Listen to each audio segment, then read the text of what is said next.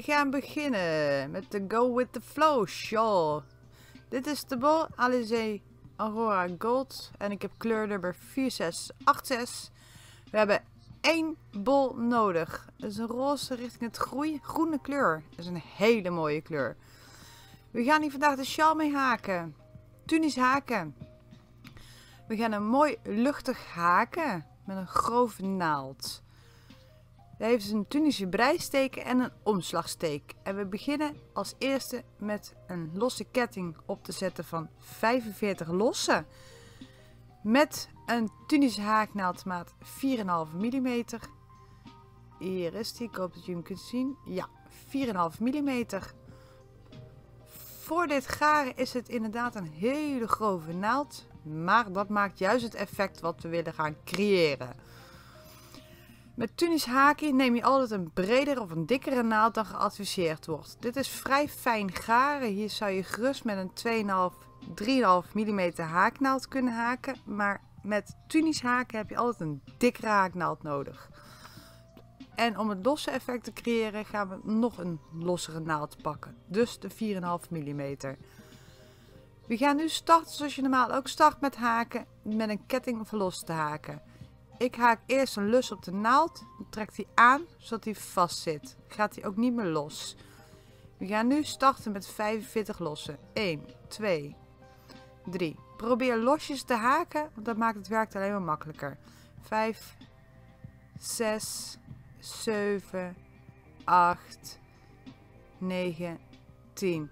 Nou, zo ga je door. Hartstikke losjes haken. En dan gaan we zo verder Maak nu je 45 lossen en dan gaan we starten met de basis Tunische steek en dan gaan wij beginnen met het definitieve patroon. Ik heb de 45 lossen gehaakt. Het is mijn kort kettingje. We gaan deze sjaal in de breedte van de sjaal haken, dus in de lengte. Over het brede stuk gaan we haken de lengte in. Goed. We gaan nu een Tunische basissteek haken. We gaan in de tweede lus starten. Dus de eerste sla je over en de lus op de naald reken je niet mee. In de tweede lus steek je naald door. Pak je de draad op, zoals je normaal ook haakt met een vaste. Alleen met een vaste sla je om en haal je door. En dat gaan we nu niet doen. We laten lussen op de naald zitten. Dus we gaan nu in elke lus een lusje ophalen. Dus je gaat net doen alsof je weer een vaste haakt, alleen dan stop je. Je laat je rusten op de naald. Dan ga je naar de volgende. Pak je draad weer op en dan haal je hem op. Vier lussen op de naald. En zo ga je dus door. Doorheen steken, ophalen en doorhalen. En zo ga je door alle lusjes heen. Aan het einde van de rit heb je 45 lossen en uh, 45 lusjes op je naald. En let op dat je losjes haakt. Hoe losser je haakt, hoe makkelijker het wordt. Dus je gaat nu echt heel erg losjes halen. Haken, haal de snootje Tunische haaknaald flink omhoog. Dat je een flinke lus hebt. Dus je gaat gewoon zo door.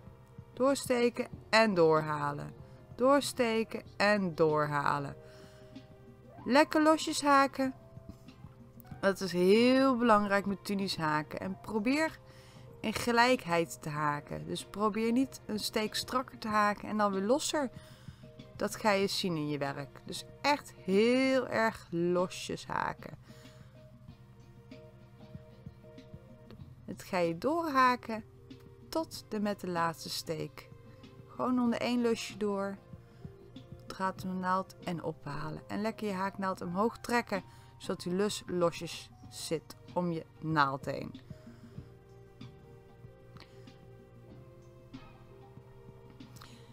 Ik ben bijna daar. Ik moet nog één lusje doen. Gaan we samen even de laatste steek doen. Hier. En ophalen. Zo, ik heb nu 45 lusjes op de naald. De eerste losse hier, die tel je ook als een steek. Alleen die haak je niet. Kom dadelijk op terug. Ik schuif het allemaal een beetje op. Om een rechte kant te creëren, haal je eerst een lus één keer door één lus heen. Dus de eerste steek klaar. Dan hou je dat steekje vast zodat hij lekker losjes blijft zitten. in toer 2 zul je de lus weer nodig hebben. Dus probeer daarin losjes te haken. Ik zal het nog een keer laten zien. Dus wat je doet is hier vastpakken. Pak je die lus, draad om de naald en door één lusje heen. Dan pak je die steek vast, zodat die blijft zitten en dan pak je draad om. Alleen nu gaan we tot en met de laatste steek door twee lussen heen halen. Dus draad omslaan door één lus en door twee lussen. Nu kan je die steek loslaten en dan ga je door. Draad om de naald door één lus en door twee lussen. Dus je begint eerst door je eerste lus die je doorgetrokken hebt en dan door de lus die op je naald rust. Dus draad om naald door je werklus en door de lus van de naald. Dat zijn twee lussen. Werklus en door de lus van de naald. Nou, zo ga je door tot je nog maar één lus op de naald hebt. En dat is dus je werklus. Die je nu pakt, deze hier, dat is je werklus. Die haal je straks aan het einde over. Draad om de naald.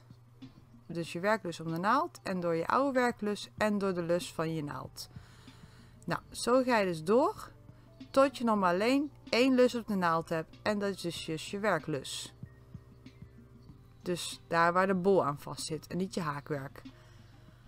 Zit wel uiteindelijk je haakwerk vast, maar het is even makkelijker met uitleggen. nou, zo ga je dus door. Hoe strak je nu de los lusjes doorhaalt, hoe moeilijker het wordt in de volgende toer om je naald er doorheen te krijgen. Dus probeer hier echt losjes te haken. Als je het nou moeilijk vindt en je haakt heel snel te strak, ga gerust een maatje groter. Maar voor met dit garen is met maat 4,5 mm echt ruim voldoende. Zo, ik haak even door tot het einde. En dan kunnen we gaan starten aan het patroon wat we door de hele shawl heen gaan haken. Dit is dus een toer afhalen en je hebt een toer opzetten. Ik heb nu dus één lus op de naald, dat is mijn werklus. Die werklus die staat gelijk aan je eerste steek. Dus die zitten precies boven op elkaar. Die twee gaan we dus niets mee doen. En die blijven recht boven elkaar doorgaan. Als je nou in deze lus hier weer een steek bij gaat haken, zul je zien dat je schuin gaat lopen. Dus dan ga je meerdere. Dat willen we niet, we willen dat hij recht loopt. Dus die lus is gelijk aan de eerste lus. Dus die laten we ongehaakt. Die gaat automatisch mee met de volgende toer. We gaan dus een toer 2 beginnen. Als je goed kijkt, ik zal hem even mijn naald eruit halen.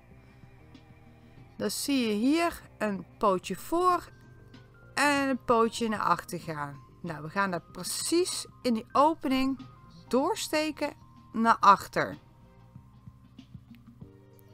Dan gaan we een Tunische breisteek haken.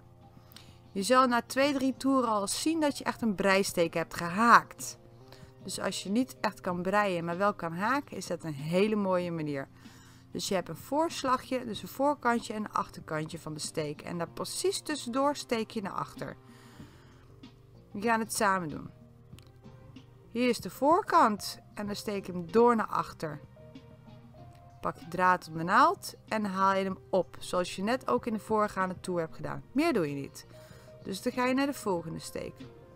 Ik zal hem even pakken. Dan zie je weer een voetje voor en een voetje achter. Nou, precies ertussenin steek je recht door naar achter. Hier is het achterpootje en het voorpootje. Door naar achter steken, draad om de naald en ophalen. Laat je ook weer losjes om de naald zitten. Hier is de volgende. Zie je weer tussen de twee pootjes door, naar achter door. Draad op de naald en ophalen. En losjes haken. Heb 2, 3, 4 lussen nu. Want die eerste, die tel je ook mee. Hier is de volgende. Steek weer van voor door tussen de twee pootjes naar achter. En dan pak ik draad op en haal ik hem op. En laat hij op de naald rusten. Dit is nummer 5. Hier is de volgende. Voorkantje, achterkantje. En precies er tussendoor steek je naar achter. Draad om de naald en ophalen. Nou, zo ga je dus deze toer door tot je helemaal aan het einde bent. Hier is de volgende. rechtdoor naar achter en ophalen. En blijf losjes haken, want dat maakt het mooie ontwerp van deze sjaal. En het maakt je een stuk makkelijker, want als je heel strak haakt, zul je straks zien dat je moeite hebt met de volgende toer om door te steken. Nou, nu ga je door tot aan de laatste steek. En de laatste steek gaan we even samen doen. Dat werkt ietsjes anders, zodat we een mooie nette rand gaan creëren. Dus ik zet even de turbohoek aan. Ik ga even heel snel doorraken tot ik bij de laatste ben. Ziet, ik steek alleen maar tussen de twee pootjes door naar achter. Ik haal de draad om mijn naald en ik haal hem op. Meer doe ik nu niet. Een Tunische toer bestaat uit een toer opzetten en een toer afhalen. We zijn nu dus met de toer opzetten bezig. En dan gaan we straks de toer weer afhalen. Gaan we samen doen. Ben er bijna. Nog een paar steken. Hier nog eentje. Oh, dames en heren, dit is zo leuk Tunis haken. Als je eenmaal het gevoel erin hebt, dan wil je nog meer en meer en meer leren. Maar ik ga zeker nog wat meer met jullie samen doen. Goed, ik ben hier aan het einde aangekomen. Ik moet nog twee steken doen. En je gaat nu al zien dat je een breisteek gaat creëren. Nou, ik heb nu nog twee lussen, dus twee steken. Hier en op de hoek heb ik nog een steek. Dus we gaan nu nog even de gewone breisteek doen. En nu het hoekje. En als je het werk draait, dan zie je hier eigenlijk een soort van een veetje. Nou, we gaan precies onder de twee draden door. Dus onder twee lussen gaan we doorsteken. Draad omslaan en doorhalen. Zo, nu is het eerste deel van toer 2 klaar. En nu gaan we de toer afmaken. Je begint als eerste weer met draad om de naald en door één lus heen. Dat blijf je in alle toeren herhalen. We houden het lusje vast draad om naald en door twee lussen. Draad om naald, door twee lussen. Draad om de naald en door twee lussen. Dus je gaat eerst door één lus en dan door twee, door twee, door twee, door twee. Helemaal doorgaan tot je weer één lus, dus je werklus, alleen nog over hebt op je haaknaald. Door twee, door twee, twee en door twee en door twee. Dus het afhalen gaat als een trein en het opzetten zal, als je nog niet eerder tunies gehaakt hebt, even wennen zijn. Maar als je eenmaal het gevoel hebt, dan denk je, oh, is dat alles? Het is zo leuk tunies haken. Je kan er zo ongelooflijk veel mee doen. Je kan de kleding mee maken, je kan de bedspreis mee maken, je kan de shawls mee maken, mutsen, handschoenen, echt werkelijk alles.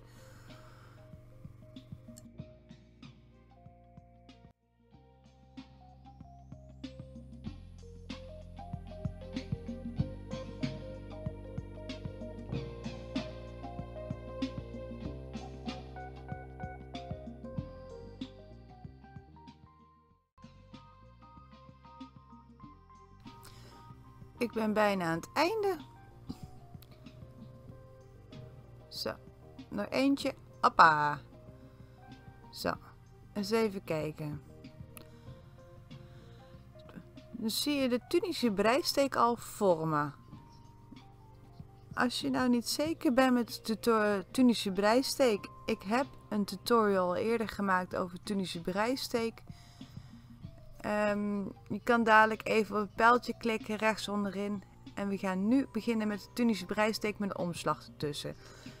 De eerste vier steken haken we normaal. Dus inclusief de losse steek, die tel je mee. Dus dus nummer 1. Die staat gelijk aan de eerste steek. Dus is nummer 1.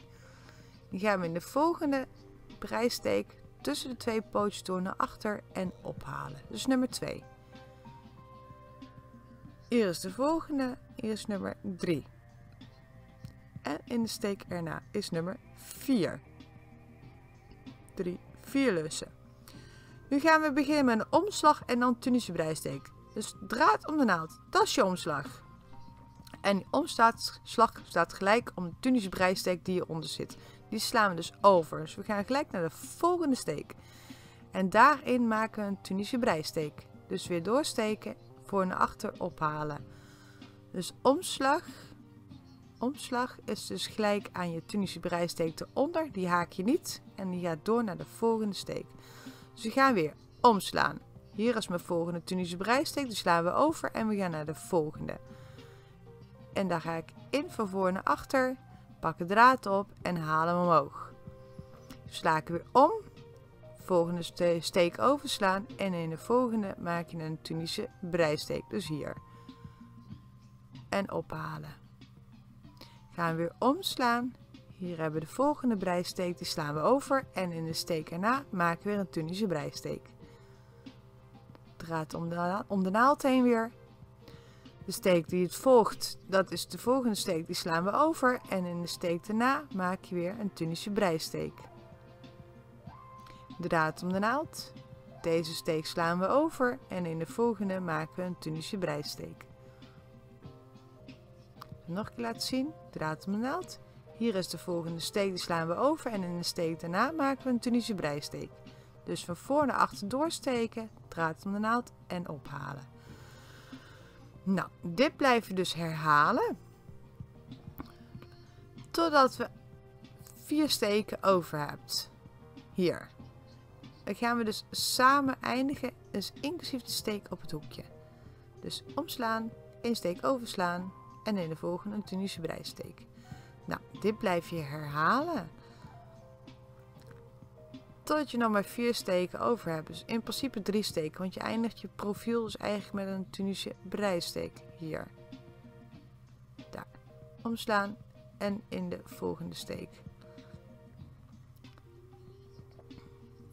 Ik heb mijn laatste Tunische breisteek gehaakt. En nu moet ik nog één omslag doen. En dan hou ik als goed nog vier steken over. 1 op het hoekje. 2, 3, 4. En hierboven moet ik een omslag doen. Dus kom je precies uit. Omslaan, omslag overslaan en in de volgende vier steken maak je een Tunische breisteek. Dus nu geen omslagen meer. Dus in het begin en het eind zal je uiteindelijk vier Tunische breisteken hebben. Dus drie plus de steek op het hoekje. Dat is de lus die we in het begin vastgehouden hebben. Steek je de naald onder de twee lussen door. Hier. Draad om naald en ophalen. Nou, dus de basis van de tour klaar. En we gaan nu de tour weer afhalen. Zoals in de voorgaande tour gaan we eerst draad om naald doen en door één lus heen halen. Dan pakken we die lus vast, zodat er geen spanning op komt. Draad om de naald door twee lussen. Draad om de naald door twee lussen. Draad om de naald door twee lussen. Nou, en dit blijven we dus weer herhalen tot je nog maar één lus op de naald hebt, oftewel je werklus. Dus je gaat eerst door je breisteek heen en dan ga je door je omslagsteek heen. Maar elke keer door twee lussen tot het einde, totdat je nog maar één lus op de naald hebt en dan starten we de volgende toer. En vanaf de volgende toer is de toer herhalen tot je nog maar een heel klein beetje van de bol over hebt. En dan gaan we samen de toer afwerken en in elkaar zetten. Ik maak deze toer even snel af. Dus gewoon door twee lussen heen blijven halen. Draad omslaan door twee lussen. Draad omslaan door twee lussen. Tot je nog maar alleen je werklus op de naald hebt. Oftewel nog één lus op de naald over hebt. Ik zal even een beetje tempo maken. Jullie kunnen natuurlijk gerust tussendoor even op de pauzeknop klikken of even iets terugspoelen als jullie het nog een keer willen zien. Ik ben er bijna. Top, top. Volgende. Even mijn draadje pakken. Ik heb dus van binnenuit de bol gepakt. Dus kan in het begin een beetje knoopjes in zitten. Dat is vrij snel met dit garen. Meestal gaat het goed. Goed, ik ben er. Ik ben aan het einde gekomen. Hier zijn de vier normale Tunische breisteken, dus die gaan we weer oppakken. Dus de eerste lus staat voor het eerste steekje, dus die heb je al gemaakt. In de volgende maak je een Tunische breisteek. Dus weer tussen die twee pootjes doorsteken naar achter, draad oppakken en doorhalen. Hier is de volgende. En de steek ernaast zijn vier lussen. Nu ga je boven alle omslagen, er zijn dus hele grote aatjes eigenlijk als je het goed kijkt. Dan ga je een omslag maken en in een breisteek maak je een breisteek. Dus begin met een omslag, hier hebben we de breisteek en daar maken we de breisteek. Hier weer een grote A. Dus omslaan, dus het omslagje eigenlijk. En in de volgende steek weer een Tunische breisteek. Weer omslaan, het grote aardje en in de breisteek maak je de Tunische breisteek. Nou, dit is het enige wat je gaat doen door de hele sjaal heen. Dus omslaan, omslag overslaan van de vorige toer en in de Tunische breisteek maak je een Tunische breisteek. Dit herhaal je tot je aan het einde bent. En aan het einde maak je weer je vier Tunische breisteken. Dat zijn dus drie normale Tunische breisteken plus het breisteken in het randje. Ik zal dus even doorhaken nu. Je kan gerust op pauze klikken of even iets terugspoelen als je het nog een keer wilt zien. En gaan we samen nog even het einde doen en de steek weer afhalen. En dat is het enige wat je blijft herhalen door dit patroon heen nu. Ik ben aangekomen aan het einde. Hier is mijn laatste omslag. 1, 2, 3, 4 Tunische breisteken. Ik heb al omgeslagen. Hier is mijn eerstvolgende Tunische breisteek. De tweede. In de volgende is de derde. En dan hebben we het hoekje weer.